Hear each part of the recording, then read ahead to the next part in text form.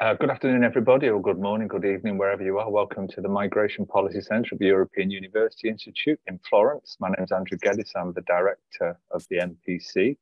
It's my pleasure this afternoon to be chairing a session on a book uh, which actually I also contributed to. So I'm very happy to for us to be discussing this book this afternoon. A, a book edited by one of our speakers this afternoon and contributed to by two of the other speakers. The book is entitled Understanding Global Migration. We're very happy to have Jim Hollifield here with us this afternoon, who's one of the editors of the book, along with his colleague at Southern Methodist University, uh, Neil Foley. So the book itself, I think, is a really important book because it, it brings together many leading scholars of migration to really provide a fascinating set of perspectives on migration interdependence and, and proposes a new typology of migration states, identifies multiple types beyond the classical liberal type of those states, and extends its analysis geographically to think about Asia, Africa, the Middle East, and South America. So the book itself, I think, is a really important contribution. We're delighted to be able to discuss it this afternoon. Uh, I will briefly introduce our three speakers, uh, and the idea is that they'll speak for around 15 minutes each, and then we'll have time for questions and discussion from our online audience. For those who are joining us online, uh, please put your questions into the chat function on YouTube, uh, if that's okay, and then we can uh, get the discussion going that way. So for our speakers this afternoon, I'll introduce them in the order in which they will speak. First of all, we'll hear from uh, Jim Hollifield, who is Ora Nixon Arnold Professor in International Political Economy in the Department of Political Science at Southern Methodist University in Dallas, Texas, where he's also director of the Tower Center so Jim is well known for his work on international political and economic in issues, including the book Immigrants, Markets and States, published by Harvard University Press, his uh, very influential book, Migration Theory Talking Across Disciplines, which he co-edited with Caroline Brettell, and Controlling Immigration, which I think is now in its fourth iteration as one of the most influential books on global migration published by Stanford University Press. Jim will be then followed by uh, Fiona Adamson, who's Professor of International Relations at SOAS, uh, has research interests in the international politics of migration, mobility, and diaspora, with a particular focus on conflict and security. And Fiona's current research projects include a project funded by the British Academy on the diplomacy of forced migration. And our third speaker is Hélène Thiollet, who is a permanent researcher at the French uh, National Centre for Scientific Research, CNRS, and she's based at the Centre for International Research at Sciences Po in Paris. Uh, Hélène's work deals with the politics of migration and asylum in the global south, and she focuses her empirical work and her contribution today on the Middle East and Sub-Saharan Africa.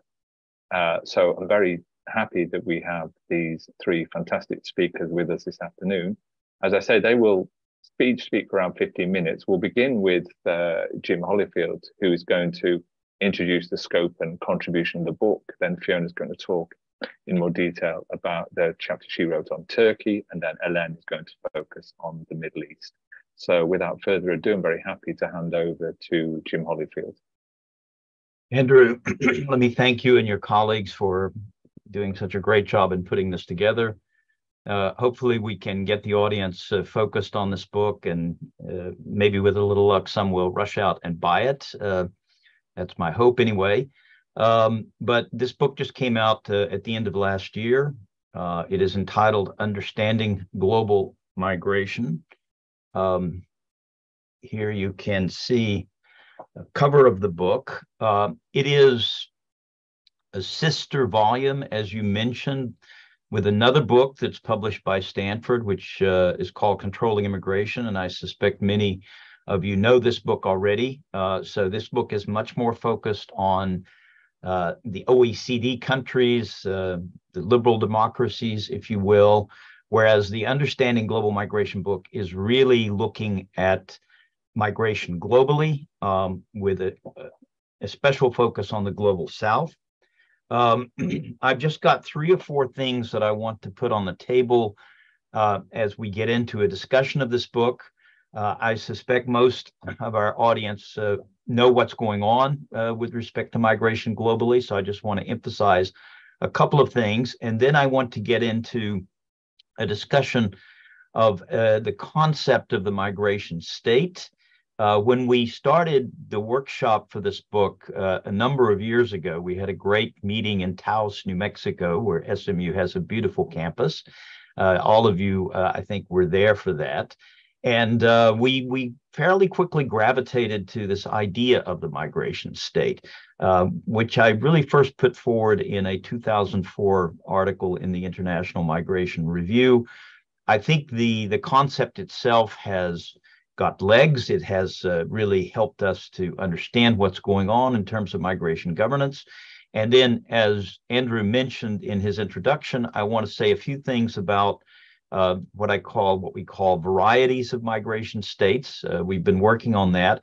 Uh, I doubt if I will get to say very much about migration interdependence. I think I'll leave that perhaps for the discussion, but that's also a focus for this book.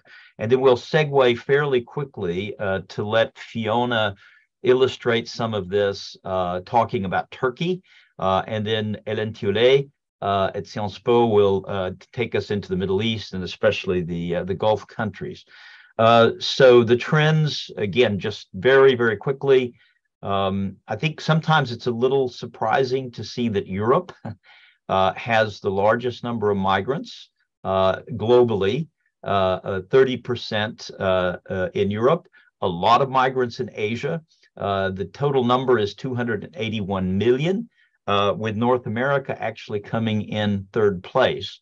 So this is just a, a quick overview. Uh, why are the trends up? I think everybody understands that international migration has been going up. It has increased 150% uh, since 1985 whereas the global population has increased by 60%. Uh, and there are a variety of reasons why migration has been going up. I think everyone understands the push pull dynamic, uh, supply push, demand pull, as I call it. Uh, we've had revolutions in communication, uh, lots of networks, more social capital, uh, transportation. And of course, one of the things that I really want to stress in this talk is the importance of the rights uh, for migrants. This is something that is still uh, a relatively new dynamic, historically speaking. A uh, couple of final points here. Canada and the US have only 5% of the global population, but those two countries alone still receive 20% of global migrants. So North America is very important. Two final points here to reflect on. North America and Western Europe, they have more international or intercontinental migration, people moving from all over the globe, whereas Asia and especially Eastern Europe, they have more intra-regional migration. So there's a lot of migration in Asia, but it tends to be within the region. Uh, uh, another quick point here is that we, if we look at four international migration flows, uh, obviously there's migration going on north, north, uh, north, south. Uh, there is some migration going on, a lot of migration going on north, north. Uh, and of course, we know the migration from the south to the north. Um, what we need to understand is that there's a, a big increase in south south migration. So, a lot of the migration uh, that we see in the world today is going on in the southern hemisphere. So, let me quickly just uh, move to talk about the migration state. Uh, I will go through this fairly quickly, and um, I'm sure we'll come back to much of this in the discussion. Uh, just a quick historical note here. Um, migration has been really the rule in human history. People have always moved, they've had mobility. Uh, so it is the rule, not the exception. Uh, it's really with the advent of the nation state, uh, the Westphalian system in 17th century Europe, uh, and the conquest and settlement that resulted uh, you know, from European imperialism. All of this changed the nature of the international system and it, and it changed the way in which uh, migration and mobility uh, are governed. Um, one thing I would just mention if we look at the causes of migration, uh, uh, as Leo Lucassen uh, points out in the book, war is a uh, is a constant. It's it's something that causes a lot of migration. If we needed to be reminded of this, we can see it now in Europe with the war in Ukraine, the Russian invasion of Ukraine. Um, uh, Leo Lucassen in the book also points out uh, in the 17th, 18th, 19th century that a lot of migration is unfree. Uh, we have indentured uh, migrants, and of course, we have uh, uh, chattel slavery which was so prominent, especially in the Americas. But but during this period, borders were still relatively open. It's in the 20th century, you know, where we have a lot of war and genocide, that we see the closure of states and the hardening of the Westphalian system, especially during the the dark period of the interwar uh, years. Um, and finally, I just want to stress uh, for uh, this is something we talk about a lot in the book. After World War II, we see a humanitarian turn with a new rights markets dynamic and the emergence of what I call the migration state. Uh, uh of course, we know that uh, one of the pillars of this system is the uh, Universal Declaration of Human Rights, 1948, and the 51 Geneva Convention on Refugees. So that's just a historical point. Uh, here's a little slide um, which has proved to be quite controversial, uh, but it shows the evolution of the state with modern state with its different functions. The state, as I mentioned, was created in Europe uh, in the in the 16th, 17th, 18th century. Um, uh, and it, it, was a garrison state. Its primary function was security, protecting the territory, protecting the subjects, uh, uh, these were basically absolutist systems, uh, monarchical systems. in the 18th and the 19th century, the modern state takes on a new function, an economic function with a focus on, on firms.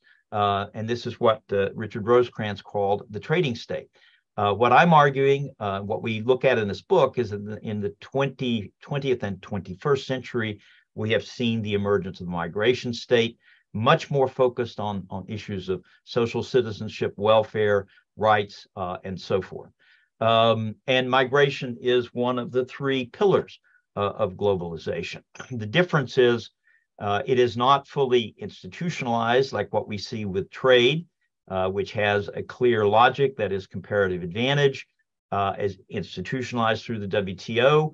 Uh, we also see a vast increase after World War II in the volume of foreign direct investment, capital flows and finance. That is institutionalized through the IMF and the World Bank, uh, with uh, which strive to maintain liquidity in the global economy and to maintain exchange rate stability.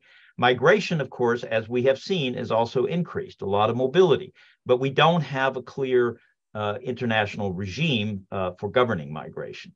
Um, we can come back and talk more about this in the in, in the discussion, even though we have now, uh, for several years, the global compacts on migration and refugees, which aim to create a system of safe, orderly, and legal migration. But very few states uh, have have uh, have uh, embraced and ratified uh, this um, this new compact, um, which is still basically a, a, voluntary system, if you will. Um, just very quickly on the characteristics of the migration state, which is an ideal type. Uh, I just list them here. Uh, states that are open to immigration and emigration and returns, states that manage mobility, regulate migration to maximize economic benefits. So we think about migration as part of the, the strategy. It's, it's it, uh, how do states manage migration for strategic purposes? Uh, the gains for the receiving states, manpower and human capital, Canada being a prime example, gains for the sending states, uh, remittances, returns, brain gains, brain circulation, uh, Philippines being a, a, classic example, Mexico, Turkey, which uh, Professor Adamson will uh, discuss momentarily. these are states which clearly define the status and the rights of foreigners. Again, uh, Canada being a prime example and states that have legal provisions for settlement, naturalization, citizenship, and of course, return migration. Uh, I would add finally that full migration states participate in the refugee regime uh, and they're willing to process asylum seekers and accept refugees.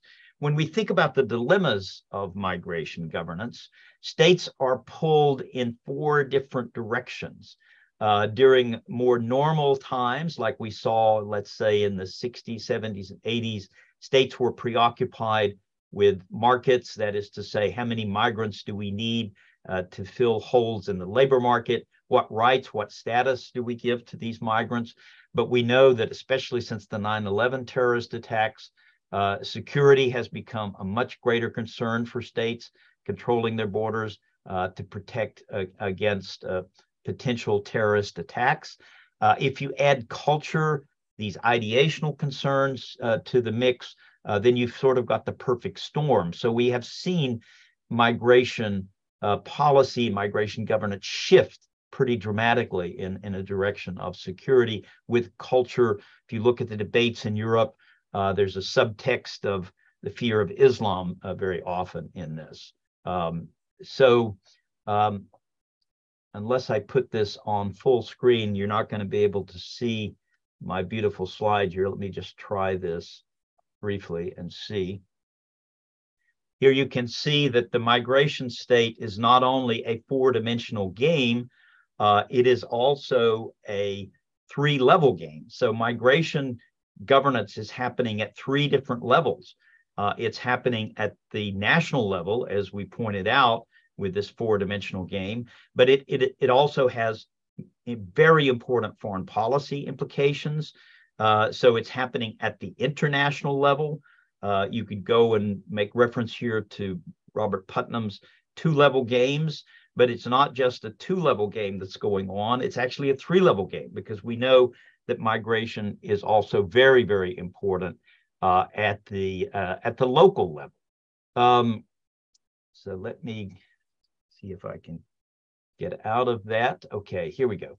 Now, I just want to say a few more things uh, in conclusion about the migration state in practice.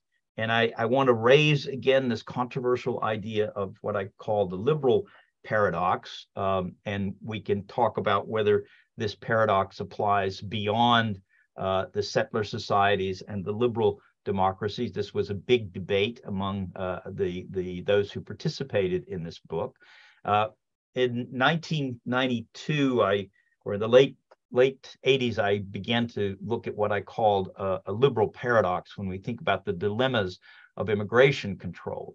Uh, that the economic logic, uh, the liberal logic, is one of openness, free trade, openness to migration, but the political logic of the state is actually one of closure, uh, a, a, need to protect sovereignty, of course, citizenship, uh, and and and nationality. These are the primary institutions of the nation state. Uh, and if you think about uh, democracies, of course, we have to know who who or what is the demos. Uh, and uh, Michael Walzer wrote a lot about this in his book Spheres of Justice. So what I argue is this is a paradox. Liberal states have to be simultaneously open and closed, and you could see from the four-dimensional game that I mentioned earlier that the trade-offs here are often very, very difficult.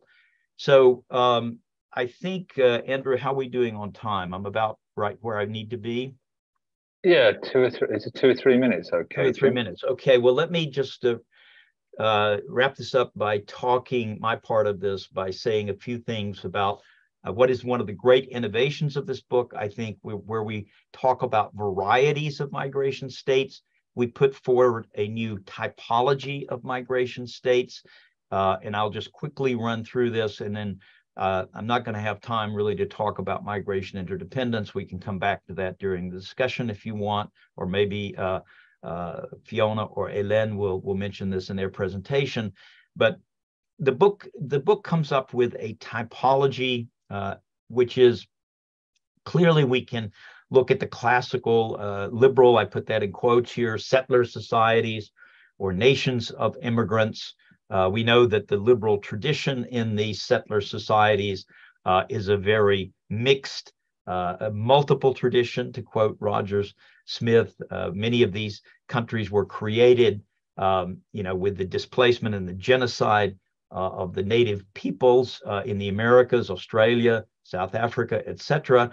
Um, and um, it, but but still, you know, we we still have a category of of states that I would refer to as liberal states. Uh, then we have states that are actually post imperial states. And of course, there's a tremendous overlap here because if you look at France, Britain, the Netherlands, Portugal, Spain, these are all post imperial states, migration states, with all that that entails with the colonial legacies. Uh, and Turkey itself, uh, we'll hear more about this from Professor Adamson, uh, don't forget, is also a post imperial uh, uh, migration state. Uh, and then, of course, we have many post-colonial migration states, and all of these, many of these are covered in the book itself. uh, Kamal Sadiq writing about uh, about India, a great uh, chapter on the Indian migration state. Uh, Gerasimos Tsourapas talking more about North Africa, Levant, the Levant, and uh, Egypt. Uh, Hélène uh, who's with us today, talking about the, the, the Gulf countries. Uh, uh, Audie, Audie Klotz uh, has a great chapter on South Africa in the book.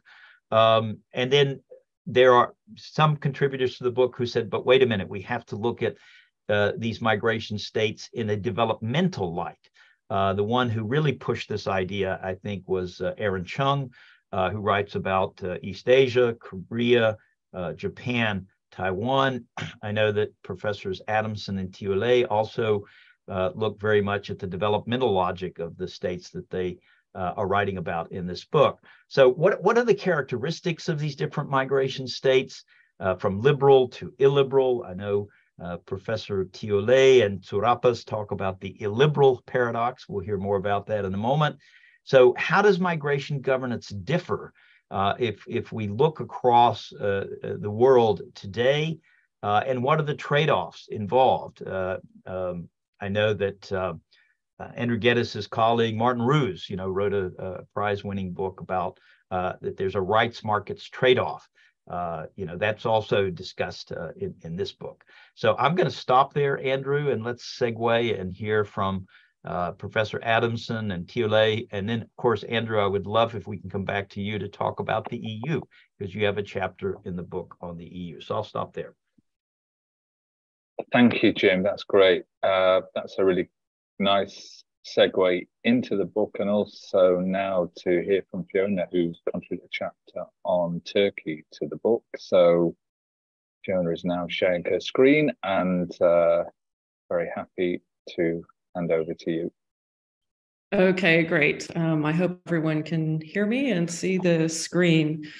Um, well, first of all, thanks for organizing this event. And also, it's been a great um, pleasure and privilege to be part of this project and edited volume. As Jim said, we've had many fascinating discussions over the process of putting this together. And I think we're all excited that it's now out there in the world for others to engage with. Um, so I, I, wrote the chapter on uh, migration governance in Turkey. It's chapter 15 of the volume. And my aim in writing the chapter um, was, I mean, first of all, to engage with some of the concepts that that Jim has already mentioned, but also to go behind some of the headlines or some of the kind of um, more dominant themes that one sees with relation to Turkey, and to try to show some of the complexity of migration governance and migration flows in Turkey. Uh, so the, these two pictures, I think, most of us um, are familiar with the fact that Turkey is now the largest host of refugees. Since the Syrian civil war in 2011, um, Turkey has come to the fore as the, the, the state that hosts the most refugees in the world. And here you see a picture of of one of the Turkish state camps. But also historically, I think we often think of, of Turkey as a, a labor sending state. And the other photo here is of Turkish migrants or guest workers arriving in Europe in the 1960s. And what I try to do in the chapter is to contextualize some of these developments and, and give a broader picture of Turkey that engages with Turkey as, oops, now why? Okay, I'm not sure why. Oh, here, I'll try this. There we go. Sorry about that. Uh, puts puts current developments in a historical context. And as Jim said, Turkey can be considered as a post-imperial migration state. And by that, we mean that the contemporary Turkish state um, grew out of the previous Ottoman Empire, which covered much more territory than contemporary Turkey. And this, I try to argue in, in the chapter, also has impacts on the development of migration governance in Turkey, but also plays into some contemporary issues that um, I discuss in the chapter and we'll discuss in the presentation. And one of the things that I cover in the chapter is looking at the period, the period of the late Ottoman Empire to the development of modern Turkey in 1923, and the many forced migrations that accompanied that period, um, including the, the large Greek-Turkish population exchanges, but which is in the in the bottom right hand corner, but also um, the late Ottoman, you know, Armenian um, emigrations, but also that Turkey was also a host to many refugees in this period. So there's a long history of the Ottoman Empire and Turkey being involved in migration and also very formative to um, the, the state formation process. In addition to looking at the historical dimensions, I place Turkey in a regional context because I think this is very important for understanding the nature of the migration state in Turkey one of the things that we discussed during the workshops for this book and that I'm particularly interested in is we talked about the, you know, does the idea of the migration state travel? And, you know, one thing that I think about, think is interesting about Turkey, but also other states that are, I don't want to say that Turkey's in the global south, but I think there's some interesting north south dynamics that affect migration governance in Turkey. And one can especially see this in the past decade or so um, with respect to Turkey's relationship to Europe. So, Turkey is on the borders of Europe. And so, especially in the past 10 years, and then with the so called migration crisis of 2015, 2016, Turkey has played an increasingly important role as a kind of buffer state um, or as part of the EU's migration control strategy. Um, we might hear a bit more from the EU side from Andrew later on, but I think it's impossible to understand the dynamics of Turkey's own migration governance without understanding the, the geopolitical and foreign policy interests, as well as, I mean, this has both liberalizing and illiberal effects because Turkey has also, since 1999, been a candidate um, for EU membership. So um, the harmonization process has created liberalizing tendencies, but then the externalization process also creates illiberal pressures. Um, so I talk about that in the chapter. But you know, often the focus is on Turkey-EU relations, but Turkey's regional position is much more complicated than that.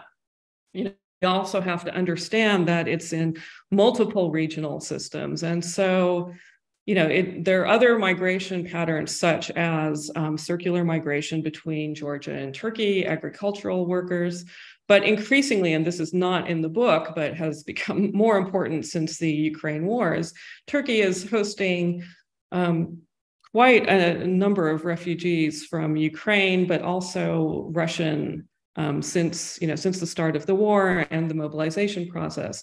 Turkey has a significant number of both Russians and Ukrainians.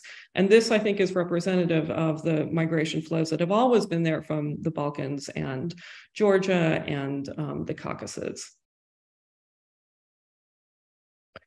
Finally, Turkey is also part of a regional system that includes the Middle East and has been heavily affected by geopolitical dynamics. The Syrian conflict is the most obvious. Um, here's a map of, you know, the Syrian refugees hosted across different states, but also one has to think of the war in Iraq, and it's also a transit state for um, refugees from Afghanistan. So here, again, one can't think of Turkey's migration governance in isolation. It's heavily impacted by what's happening in the region, which in turn is also heavily impacted by US foreign policy, NATO, and other um, uh, issues. But these major conflicts in Iraq, Afghanistan, and then Syria have all had a, quite a significant effect on Turkey. Finally, and this I think gets less attention, but as in other countries, the migration patterns are, are diversifying in Turkey. And I think it's very interesting to look at non-traditional forms of migration that don't get as much coverage um, in many studies of Turkey. For example, there's quite a significant um, migration flow from Asia of um, Philippine domestic workers to Turkey. And increasingly, um, there are migrants from sub Saharan Africa who are either seeing Turkey as a destination or um, as a, a, transit state en route to elsewhere. And this, this also goes hand in hand with Turkey's foreign policy interests. It's been much more active in Africa. There are more flights between Turkey and Africa, and one also sees more migration. Now, as I said at the beginning, um, I think Turkey's often viewed as an emigration state in the past. And indeed, I think this is significant for understanding Turkey's economic development, the role of emigration in the 1960s and 70s, and the role that remittances played in its economic development. However, that has changed in the past years. Turkey is no longer um, as reliant on remittances. And now I think migration between Turkey and Europe is about even in terms of inflows and outflows. What is significant, though, is the historical legacies of that past migration and creating a um, population um, that's European, but that is also connected with Turkey. And this becomes significant in you know, Turkey's increasing attempts to engage with this as a, this population as a diaspora.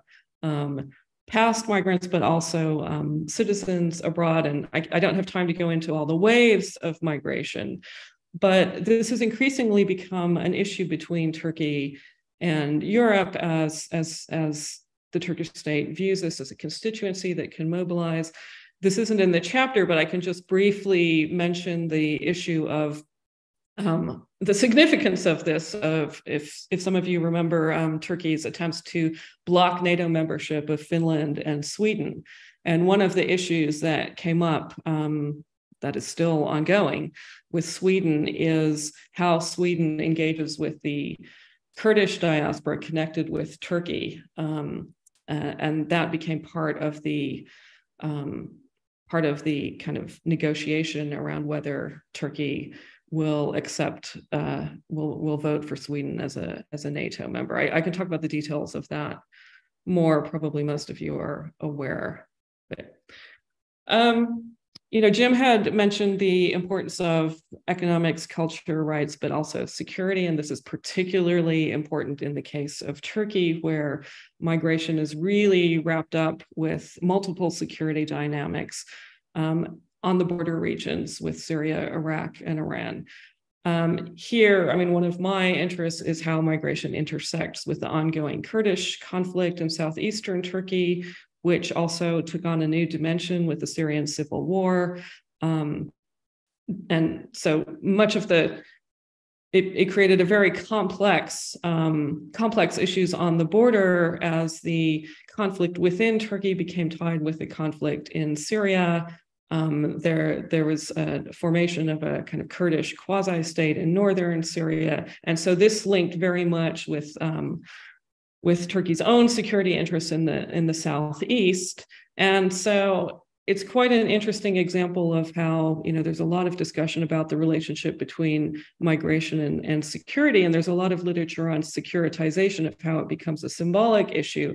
But in the case of turkey this i think is very um, you know different in that there is a hot conflict. And so border issues and migration become key to understanding the dynamics of the conflict so within this context um, one had the you know so-called refugee crisis syrian refugee crisis 2015-2016 which has had ongoing impacts on turkey both in terms of its domestic politics um, most you know syrians were not in camps they're they're living in cities in um, Turkey. And just to give an example of the significance that Istanbul hosts more, has hosted more Syrians than all of Europe. So it's been a significant domestic issue. And those of you who are following the current elections know that this has also come up in the elections, that public opinion has turned to some extent um, against refugees, or it's become much more of a politicized issue which combines with the um, conflict in the southeast um, and Syria because there's an increasing um, attempt to to return or repatriate Syrian refugees to northern Syria, which also feeds into Turkey's geopolitical interests in, in kind of creating a buffer in northern Syria.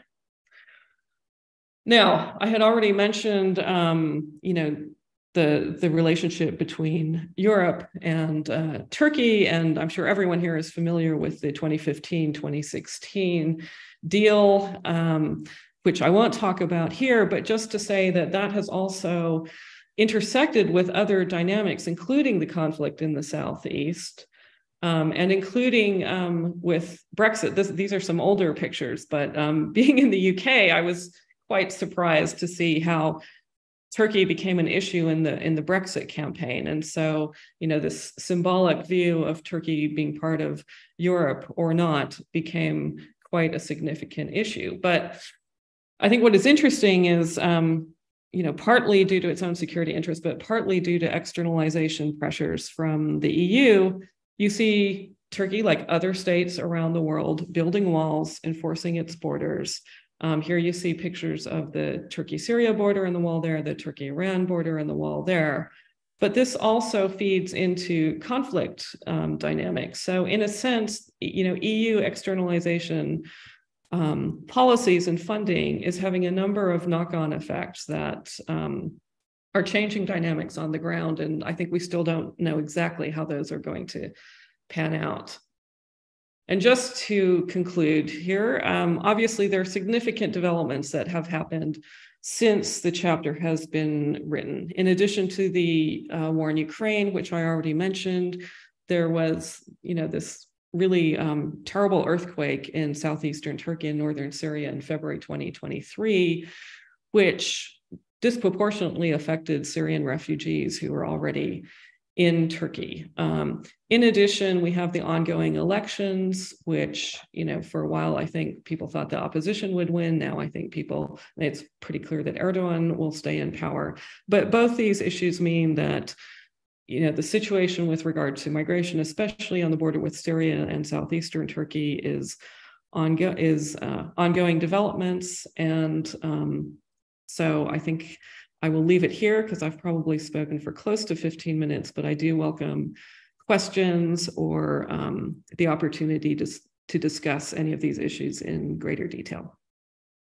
Thank you. Great, great. Thanks, you. Spot on, perfect. And uh, I think, as you mentioned, I might say something briefly after uh, Professor Chole on the way that my EU chapter, which I think has quite a lot of, as you pointed out, relevant implications for the Turkish case. But uh, without further ado, keep the uh, flow going I'm delighted to now invite Hélène in Paris, I assume, to take the floor. Over to you. Thank you very much. Um, let me um, um, try and do this. Oops, sorry. Going back to the beginning. Everyone seeing the screen? Thank you. I think so, so, yeah. Thank you, Andrew. And thank you to you and, and EUI for hosting the seminar and having an opportunity to discuss this fantastic collective work that had been ongoing for quite a while before it became a book. So that's that's really um, exciting. Uh, my part was to um, uh, discuss, uh, describe and discuss uh, migration and migration politics uh, in the Arab Gulf for this uh, broader volume uh, that uh, was trying to describe um, migration across the globe. Um, and for me, it was um, it was really both um, exciting and a bit challenging, um, as the Gulf has been studied by a very limited number of scholars with regard to migration um, and has long been overlooked in research um, that uh, more broadly deal with migration, migration control, integration or assimilation or incorporation. So the, the literature, the mainstream literature are sort of overlooked these countries, even though their importance quantitatively and I think politically is is there. Um, one of some of the biases that were um, that plagued the, the perception of migration in the Gulf were mostly the fact that migration, migration politics were largely dehistoricized in the Gulf. So, mainly focusing on economic processes of labor demand, of, of uh, economies that had boomed rapidly because of the uh, oil economy and that needed labor force, both unskilled and skilled. So that was sort of the rhetoric and the rationale around the understanding of migration in this particular region.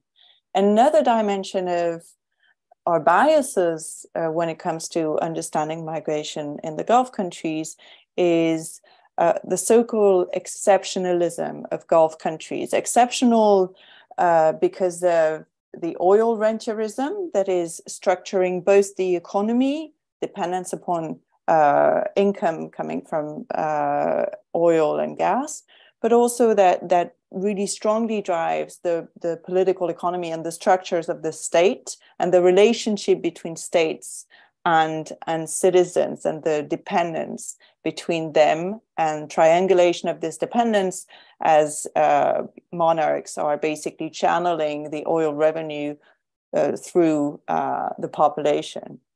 Uh, another dimension was also, and that's the you know the authoritarian monarchy relying upon oil resources to maintain their power. Another dimension was also Islam and uh, the ethnic and cultural homogeneity of Gulf nations. The fourth, uh, the third, sorry, um, um, bias that most of us have about the Gulf is that they are considered to be highly exclusionary context where migration is only for work and only temporary in the model of uh, guest worker programs in the US or in Germany or elsewhere, which is in fact obliterating immigration as a fact, and notably the settlement of immigrants uh, in these countries. And we we know that the, the the fantasy of the guest workers program and migration as a wholly temporary process has been debunked uh, for both the U.S. and and Germany. Uh, by many authors, but it w- it's it's still very much what people have in mind when you think about the Gulf um, even though Philip Martin earlier said that there's nothing more permanent than a temporary foreign worker. The fourth dimension of uh, migration that really is there and maybe explain lack of interest in, notably in Western academia, is that uh, migration to the GCC uh, is is mostly about south-south migration. So uh, immigrants coming from low and middle income countries in Africa, in Asia, South Asia, and Southeast Asia going to the Gulf in very large numbers. And of course, uh, immigrants coming from the Middle East itself, or from the neighboring countries. Um, and a very, very limited number of uh, migrants coming from the global north uh, and almost no flows from the region to the global north. So these particular geographies might explain uh, the relative lack of interest of notably migration theory for the region. So ending this uh, list of scenes of, of migration scholars for not be being too uh, interested in the region. Uh, my question when I started writing was how does the region and how does how do migration and migration politics in the Gulf fit into the global understanding of migration uh, and migration politics? And interestingly enough, recently the, the World Bank published its, its 2023 Global Development Report, which is actually giving a lot of space to the Gulf. And that's the first time, at first, that's the first time that the World Bank is devoting a, uh, a global development report to migration and refugees and societies. But also, that's the first time that the bank is actually putting really the spotlight on uh, the GCC, and notably in this in this um, pie, you see that the GCC is really spotted as a, a, a large uh, a region where a large proportion of migrants are to be found migrants and actually I would claim as and refugees, but mostly labeled his here as economic uh, immigrants. So 17% of uh, the the migrants of the world are in this particular region, uh, which is really uh, important, especially if you compare to the number of inhabitants of the region. So, if you normalize by the population of the region who are non-migrants. Uh, that's also something that we see in a broader uh, map of immigrants across the world, and we see the dark, the dark whatever color that is, that's red or brown uh, uh around Saudi Arabia, Oman, uh, Kuwait, UAE, etc. So it's really kind of more visible.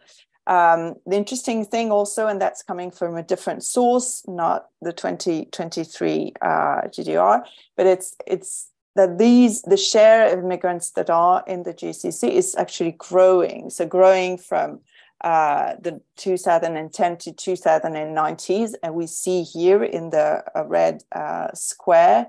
Uh, and so it's a very high rate positive change of, of, of 3%. So illustrating what I've said earlier, uh, global data also tell us that the interesting thing about these migrations is that they are endogenous to the reason to the region, sorry, within the Middle East and, and North Africa, Western Asia, but also endogenous to the global South. And we see here under the, the red um, uh, round shape that uh, the main flows in uh, this demographic representation are between South Asia and, and the GCC.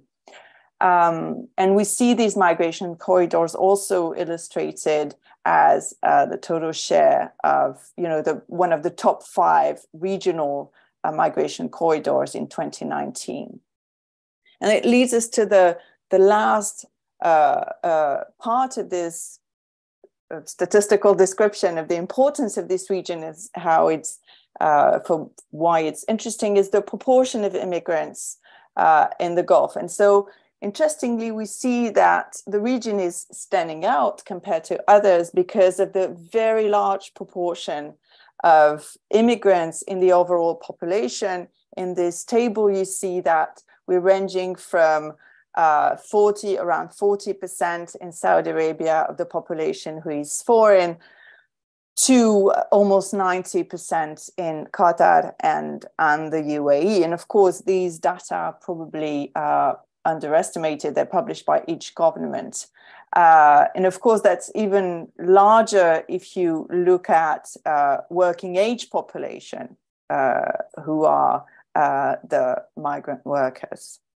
Um, but in this, uh, in this overall story, uh, what we lacked oftentimes is to rehistoricize these these facts, this data, and these macro narratives on migration uh, in the Gulf. And an important work, I think, for me in this chapter was to go through the geohistory uh, of migration to the Arabian Peninsula as part of broader histories of colonial migration governance, uh, especially when it comes to the early stages of oil explorations that were led by uh, British owned and American owned foreign uh, so oil companies and not by uh, uh, local rulers. So these created a lot of mobility within the peninsula and with the rest of the British empires, for instance. So Indian migration started very early on, and also it led British and American expatriates to actually settle uh, in the region.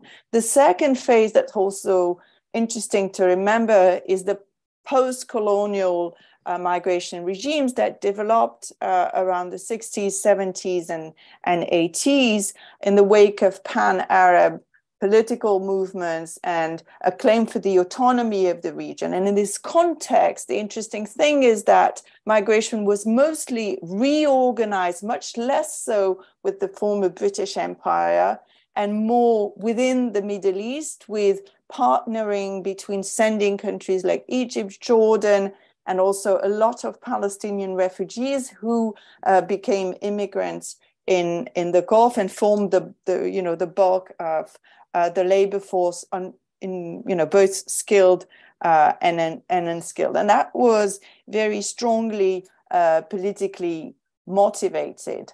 So this is just a an, an image of Aramco officials meeting Bedouins to organize uh, also the labor force mobility to serve the beginning of the oil industry.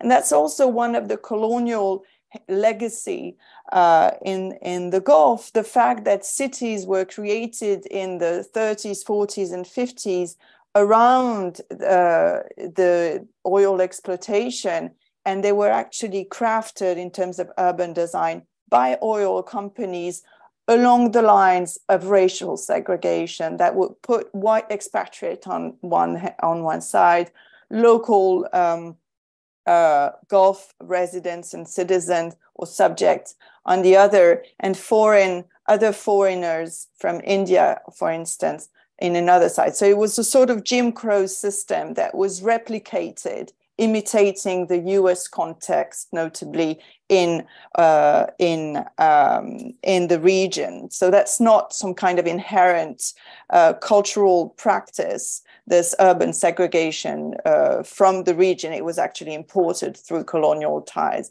An important dimension of this period that's often forgotten is the emergence of religious circulation and pilgrimage uh, that really took off in, in, in the 19th century and the 20th century and was uh, managed uh, by colonial powers uh, to, you know, to organize religious mobility the, from the entire world, from Africa, from Asia, to the region, and that's not that's not uh, trivial. Uh, so this is just an, an a, a slide that illustrates the very strong correlation between the oil economy, so oil prices adjusted for inflation, which is the dotted um, line, with uh, migration rates, so migration flows. And you see here that oil was a strong driver of migration, of course, but there were strong changes, the one I illustrated in terms of the origin of migrants. So migrants from Asian nationalities and and um, Arab nationalities. So this this uh, graph illustrates the progressive change across time and uh, the the rise of um, uh, Arab immigration in the 70s which later declined and led to a new rise of Asian immigration, you know, connecting with the colonial period. The second point that's interest, interesting to make, I think, is what happened in the 1990s and, and onwards, which is uh, when Gulf states tried to really claim back a better control on migration flows and on immigrants in their countries, and use migration politics as a vector of state transformation and consolidation, both internationally, so playing on migration interdependencies with countries of origin and using migration diplomacy, and also domestically trying to control better labor markets and immigrant workers. And so these two sides of uh, the migration and state relationship are very important in what I call the sovereign turn, this attempt of states to increasingly control migration. Again, this sovereign turn is not something that is peculiar or particular to the Gulf. It's also something that colleagues, including Andrew or Virginie Guiraudon, have talked about in the context of Europe and the United States. So this is an example of one of the consequences of this sovereign turn. In the wake of the 2011 Arab Spring, uh, the Gulf countries, Saudi Arabia, but others, got a bit scared about the potential contamination and risk that migrants were were introducing politically in their societies and engaged uh, upon large uh, deportation programs. Here we're seeing Yemeni immigrant, immigrants, sorry, there's also the French version of Yemeni, um, uh, just before deportation in 2013. And the context is that Saudi, being a neighbor uh, to Yemen, where an Arab Spring was actually happening and a, a democratic revolution was taking place. Uh, the Saudi monarch got a bit scared of the potential democratic contamination and and uh, laid off a lot of Yemeni immigrants who were actually the first, who were the first nationality uh, of immigrants, of Arab immigrants in the country. Um, at the same time, uh, Saudi Arabia also uh, enhance its control on uh, uh, pilgrimage. An interesting thing here is that we're talking about millions of people who are circulating through Saudi Arabia. So with with a sort of moral duty to allow mobility. At the same time, the state is constraining and restricting uh, uh, migration and trying to better control migration. So this paradox is something that we need to keep in mind. Another important dimension of the 90s and early 2000s is the rise of the Gulf monarchies, Saudi Arabia, but mostly also the UAE and Qatar, uh, on the, the global scene, the international relation uh, scene, trying to claim more symbolic capital and to uh, to um, uh, uh, better their image uh, using public diplomacy, mega events, art diplomacy, um, uh, sports uh, events, and also trying to better their image in terms of migrants' rights. So this kind of liberal uh, trend is to be observed and can be monitored in the signing of agreements and labor uh, reform. It also, this diplomatic dimension was not just for symbols and, and, and getting a better reputation in the international scene, it was also tied to the necessity to articulate better um, with um, uh, sending states and particularly sending states in Asia. And here on the slide, you see that the share of Asian uh, uh, foreigners in the Gulf is actually very, uh, very, very big. 75% of all foreigners are coming from South Asia and Southeast Asia, uh, and their uh, numbers or their share was actually uh, in, actually increased, uh, particularly so in the UAE and in Qatar. Uh, Arab immigrants remain more numerous in Kuwait and in Saudi Arabia. We see here a graph on with the number of Indian immigrants in particular, who is the main nationality overall in the GCC, in the Gulf, and the rise uh, of their share within the number, sorry, uh, within uh, all countries of the GCC. Um, so now moving on to the domestic dimension of this sovereign turn, the concern for Gulf monarchies was to better control not only migration at the international uh, level, but also within uh, their countries, and notably to try and better control labor market outcomes. Uh, the context in the Gulf is a very high labor market segmentation where migrant workers occupy a large share of the labor market overall, but particularly so in the private sector. On this graph, you see that the percentage of migrants in the private sector in Bahrain is over 82%, uh, 96% in Kuwait, uh, 90% in Oman, um, 80%, around 80% in Saudi Arabia, almost 100% in Qatar, and uh, 97% in, in the UAE. So a, a, very strong dependency of private sectors uh, in these countries over foreign immigrants, while the, the public sector is actually largely hosting national and serves as a sort of secondary way to distribute the oil rent through public wages to uh, national.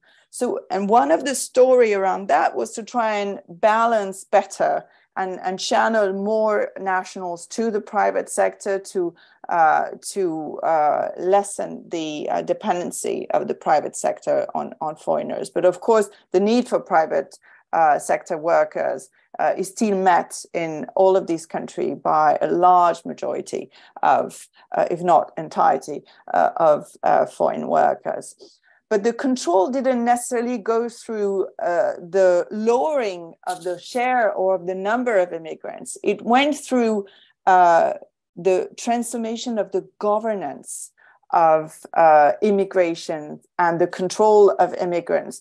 Uh, institutionally, the kafala system was uh, allocating the responsibility of controlling immigrants to employers or private citizens. In the 1990s and 2000, the state started to reform the kafala system, so sponsorship system, uh, and gov- governmentalize it, so put it under state control.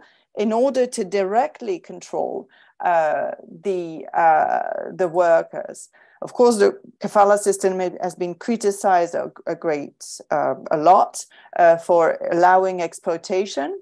But a question remains whether or not states are going to be less exploitative uh, than private sector uh, actors. Another dimension of the control over labor market outcome was high subsidies on national workers for them to join the private sector and increased taxation on immigrant workers, either channeled through taxation of, of firms and employers or direct taxation of migrant workers. That is to say, taxing them, taxing their family. And that's something that was really new and really uh, uh, enhanced the pressure on, on immigrants.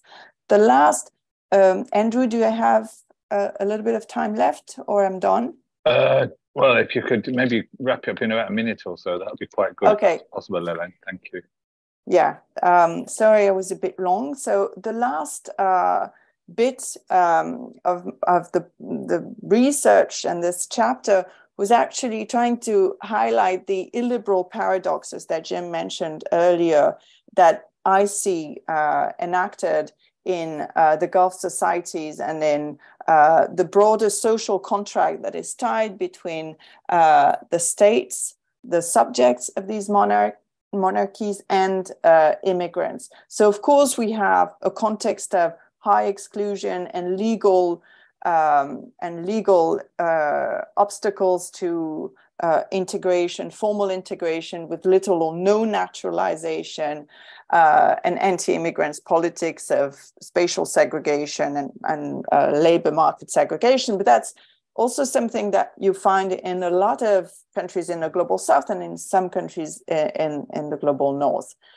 Uh, the interesting thing is that were new class-based segmentations were introduced. So when some rights were introduced for um, immigrants in the 2000, notably, they were in fact segmented and uh, allowed uh, or distributed only to the higher income immigrants and not to the poorer ones. That's interesting, for instance, for residents. So long term residence is now available in most of the GCC countries, but only for high income immigrants, not for the uh, unskilled and low income ones. And that's really these kind of discrimination based on income is actually not something that is specific to the Gulf. It's something that one find uh, even uh, in the global north and actually in all countries. Uh, and the uh, example of golden visas that we find in Europe, for instance, is also in the Gulf. Um, but I just want to finish this with a, a, a, a potentially hopeful note. So, despite these uh, exclusionary contexts and inequalities, what we find, what I found also in my fieldwork research, is that settlement is happening and informal forms of cosmopolitan interactions are also happening in the Gulf between foreigners among different groups and also between foreigners and local. And that's uh, something that I think needs to be more uh, studied and discussed. Thank you. Thanks very much, Ellen. I think we have three very rich contributions already. We've got some time for questions and discussion, and some questions have already been put into the chat box. I'm just very briefly just going to talk about what the chapter I wrote on the EU in the book, because I do think it relates to some of the themes that have been discussed. Because in that chapter, I was looking at the role of the EU as a kind of, with this kind of, as a unique form of supranational governance, which has partial responsibility in the area of migration, but for what could be labeled as more repressive aspects of migration policy, the EU focuses essentially on stemming migration, while the member states maintain the authority to govern admissions policy. So that aspect of the EU, I think, is particularly important in terms of its policy focus. The second aspect, I think, in relation to the EU is the high level of politicization of migration that's occurred in recent years.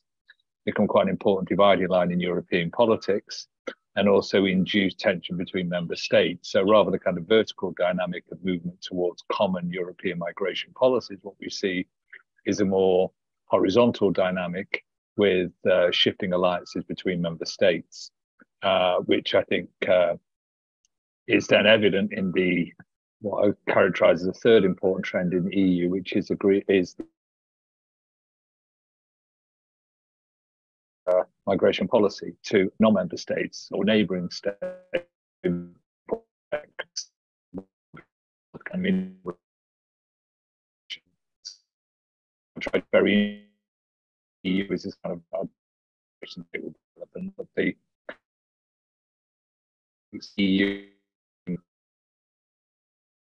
governance state and for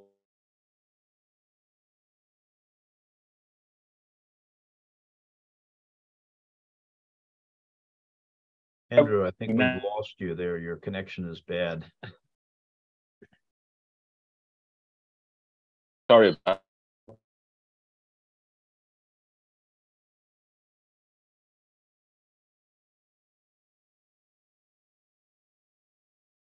Victoria, are you there? Yes, I'm here. Maybe you could start some of the questions from the chat box. Uh, Yes, okay. while we wait for Andrew to come back.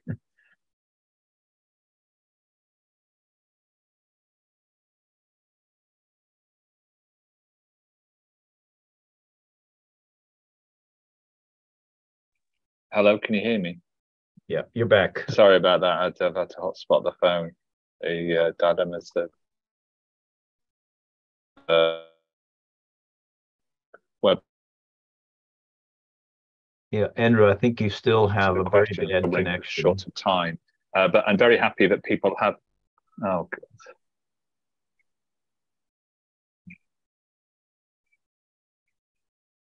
I think you're back with us now, Andrew. yeah. I'm just going to try and hotspot my phone. Sorry about this, everybody who's joining us. I don't normally have these kind of problems, but I'm on a very rubbish Wi-Fi because I'm not in my office. Uh,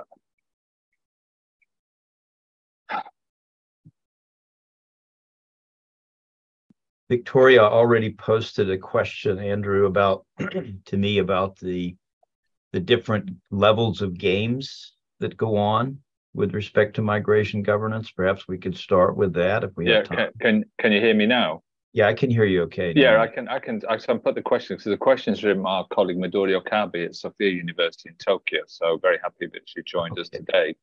And Yeah. her question is asking about, well, it's asking Jim specifically about migration governance, and she's interested in how the local factor in your analysis makes up the kind of what she calls the win set in dealing with the negotiation for migration governance. So thanks. Yeah. Very happy that uh, Professor Okabe has joined us. We also have another question which I've put to all of you, which is from uh, Kamadov Nijad. Uh, I suppose, uh, and and there's a number of comments that uh, Kamadov Nijad has made, which are very very welcome. But I think in particular about the kind of I- maybe if I'm interpreting correctly, but the importance of crisis in migration governance, and he refers specifically to the Middle East uh, and refugee displacement, and also Southeast Asia with the displacement of Rohingya refugees in Myanmar. He also asks about international NGOs that can't replace the role of the states and is interested in kind of political solutions for handling refugee crisis, but perhaps the role of crisis in migration Mhm, governance and the, the framework here could be relevant. Mhm. Uh, and then there's some additional comments from uh, Kamadov Nijad, which we thank you for in relation to the IFC, World Bank, and UNHCR and some of their recent initiatives. So thank you for sharing that. Our viewers can see those. So maybe go to Jim first, if that's okay. Yeah, um, I do think that as we look across the many states that we cover in this book, that you see uh, actually quite different dynamics in terms of the the different levels of games that are be are being played. And if I could just zero in on on Japan in particular, um, uh, I know our, our colleague Professor Chung is not with us, but she's written extensively about this and how important in if you look at the issues of migration governance in Japan, it's actually the local level and civil society that are driving much of the policy debates. So there there are places like Japan uh, where the local level is, of course, incredibly important. I mean, you could look at the United States, for example, um, you know, where we've had this uh, raging debate going on about cities uh, and, and, and states, uh, whether they should, um, we can have sanctuary cities, for example, uh, sort of uh, making a protected area for migrants and refugees. Many cities around the United States have, have done this. Uh, and of course, if you look at the reaction of the federal government or the federal courts, you know, states and local governments are not supposed to interfere with federal or national policies. So you can see the the debates that go on, uh, you know, uh, at, at the subnational level. Um, and I think I will, um, you know, we could we could actually go to uh, Hélène who has thought so much about the issue of crisis and how crisis uh, uh, uh, plays a role in migration governance. Uh, I would just I would just say that there's an incredible symbolic element in migration politics all over the world, and I think the the symbolic politics expresses itself through this idea of crisis. Hélène, do you want to say some more about that? Yeah, thank you, Jim. Um, happy to react, maybe a bit counterintuitively, that um, in the Middle East, migration has not been conceptualized as a crisis uh, for a long time, and the, the, the emergence of this trope of uh, migration crisis is is quite recent. If you look at the way refugees um, or displaced people have been hosted in the region in the Middle East, uh, starting with Palestinians in um, in the 50s, um, Iraqis in Syria in 2003 in the in the wake of the uh, uh, intervention in Iraq, um, Eritreans in Sudan. Um, so these are examples of open door policies with no labeling of mass arrivals of displaced people as a refugee crisis. Um, so it's interesting also to to think of non-crisis where things are not labeled as a crisis, but politically organized uh, as a, a, legal duty to to welcome, to open borders, to to uh, host um, refugees, which is actually what's happening in most of the world. Um, so I guess uh, we need to contextualize better when and why uh, migration is framed as a crisis. Uh, by migration, I mean both forced and economic migration, if you will, um, and maybe sort of reverse the question and look at, you know, at the uh, producers of discourses and, and political entrepreneurs who are actually coining uh, these uh, migration crises and creating uh, hmm. them. And by that, I don't mean to be in any kind of conspiracy uh, theory what, whatsoever, but just to to really try and look at the way political actors are engaging with migration as a crisis and the kind of opportunities that this open to shape certain policies, uh, to to um, to call for certain ways to govern migration, mm-hmm. largely under a sort of security umbrella, to call for extraordinary measures, uh, to step out of legality uh, to uh, to some extent, and we've seen that at the borders of Europe, uh, legality being uh, pushed aside um, in in order to uh, enforce better borders and prevent uh, border crossing. It's very similar to what Fiona has been uh, showing that emerged also in in Turkey. But I think this really originates from um, from some very specific areas in the world, and Europe is one of these cradle of migration crisis as a model uh, to to ma- to manage migration that is spilling over in other regions. But that was not the case in in uh, the Middle East. Not, I mean, historically. The Fiona, did you want to follow up on that? Yeah, just briefly. I mean, I, I, agree with what Hélène has said. And, you know, Jim had said at the very beginning that um, migration is, you know, as old as human history. So I think some of our chapters by taking a more historical context, um, placing current, you know, crisis discourse in historical context.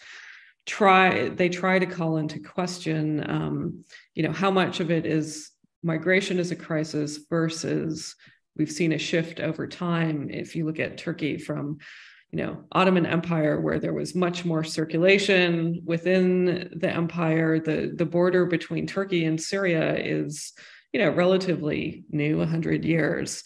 Um, and so in a sense the chapter tells the story of the hardening of borders. Um, so i think this historical context is really important. The second thing i would say just briefly on turkey is in in in terms of the question about ingos can't replace the role of states there's been a huge variation in how states responded to Syrian refugees. And Turkey, I think, is an interesting example of a, a state that really exercised its sovereignty. Um, as I said in the presentation, most Syrian refugees were not in camps; they were in, you know, Turkish society. Many have been, you know, quite well integrated.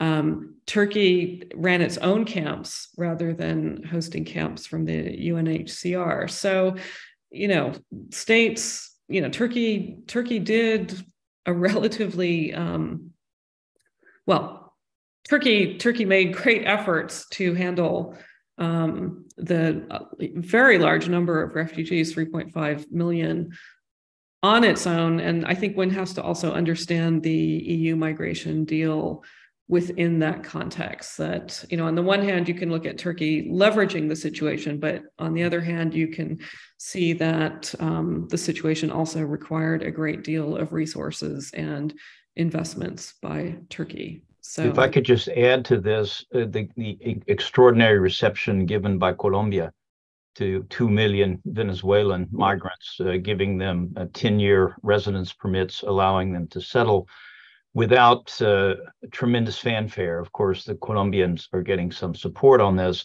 And to go back to the crisis issue, at one point, if you looked at this, the the the Central American migration to the U.S. and the southern border, uh, I think this this quote unquote crisis uh, in terms of numbers uh, ranked only 15th in the world in terms of humanitarian crises. Uh, but if you look at it from the standpoint of the American media, American politics, it was the largest migration crisis on the planet. Well, that was simply not true. Thanks, Jim. Uh, I just wanted to come in on this as well because the chapter I wrote, crisis, played quite a large part of that within the European context. And I think one of the things that I argued in my own chapter is that crisis, in a certain sense, has been normalized within the European Union uh, in particular, so if you look at the origins of European asylum system, it was associated with perceived crisis in arrivals in the early 1990s, particularly towards Germany. But a series of kind of uh, crises have emerged in the European Union, which have been based around concerns, whether real or not, about numbers. And I think more recently supplemented by concerns, whether real or not, about anti-migration backlash in domestic politics across the European Union. So I think this kind of that that, that as uh, Ellen already pointed out, the uh, role of Europe as a, a, kind of a hotbed of kind of crisis-oriented migration politics is quite a distinctive component. But and I think it is centered around concerns about numbers, but also I think the, the politicization of migration in Europe is is highly significant. Uh, we, we do have another question which I wanted to put to you, and it's it's uh, from Desiree Mortensen. So thank you for asking this question. It's, it's asking about the situation in Afghanistan uh, so perhaps I don't know if Ellen would want to answer this, but obviously feel free anybody to join in. But uh, uh, Desir is asking about the migration out of Afghanistan, whether it's been caused more by armed conflict there or by Taliban influence. Uh, so I, uh, I don't know if Ellen would like to start, and then anybody else would join in if they want to. I'm I'm happy to try, but I'm not sure I understand what Taliban influence means in this particular question. Well, if Desiree is still with us, could you uh, was it possible to uh, clarify? I'm, I mean, if I was to try and interpret on Desiree's part, uh, I, I, I would be assuming the control the, the, the control of government taken by the Taliban. Uh, ah, okay. I'm, so I would just I mean, the, the various conflicts that have plagued Afghanistan from the late 1970s mm. to now have, of course, caused massive internal displacement first and a mass displacement to Pakistan and Iran, mostly. Mm. Uh, and this is where Afghan refugees are until today. Uh, so, of course, armed conflicts, low intensity, high intensity from the Soviet occupation to to now are causing this. And then you have um, a more, let's say, more structural uh, context, which is uh, the contrast, especially since 2001, between a sort of development under aid uh, uh, regime that has been happening in urban areas of Afghanistan, and particularly Kabul, of course, which has created some sort of a middle class with aspirations. Uh, and of course, the return of the Taliban into power a year ago has crushed these aspirations and generated a new uh, wave of migration who are a bit different from the kind of ongoing migration that has been um, uh, uh, people who have been going out from Afghanistan in the past uh, decades. So now there is a little bit of a shift linked to the political change in Kabul uh, with a different type of immigrants, highly skilled, a large number of females, and actually very little done, I have to say, in the EU to take this into account seriously in terms of numbers uh, especially as a lot of these migrants are coming not necessarily from Afghanistan, but rather from Iran and from Pakistan as sort of secondary movement.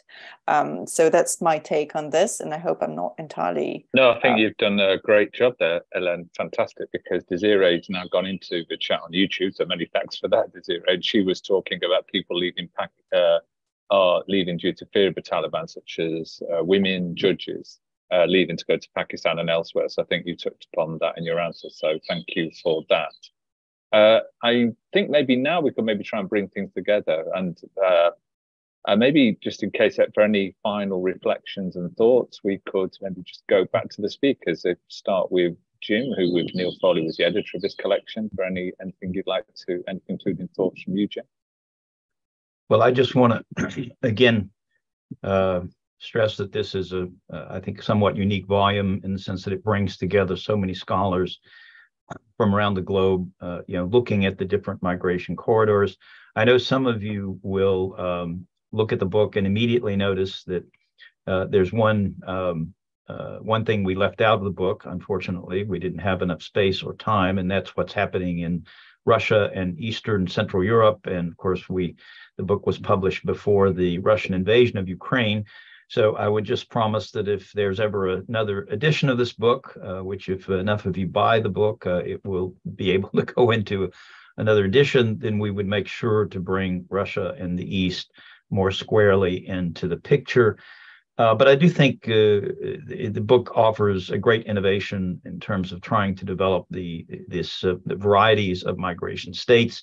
Uh, we are going to have a special issue of the Journal of Ethnic and Migration Studies uh, that will be coming out sometime later this year, uh, where we follow up on this issue of varieties of migration states. So this is a, and if you add to this the whole concept of migration interdependence, which we didn't really get into, and and uh, which is so important uh, if you put it alongside uh, trade interdependence or financial interdependence.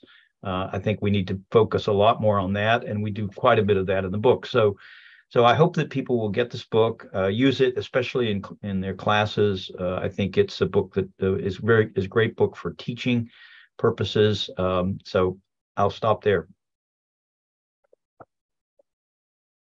Uh, thanks, Jim. That's great. Let's hope very much there's a second edition, uh, but obviously encourage people to read the first edition, which will help induce the second edition. So thank you.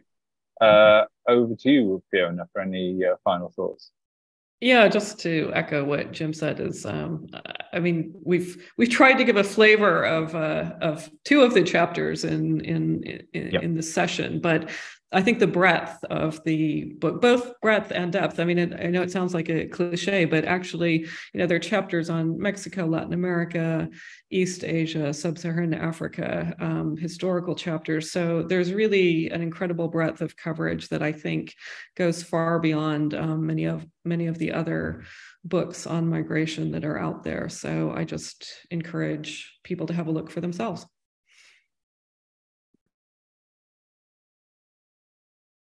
Thank you. Uh, over to you, Ellen, for any final thoughts that you might have.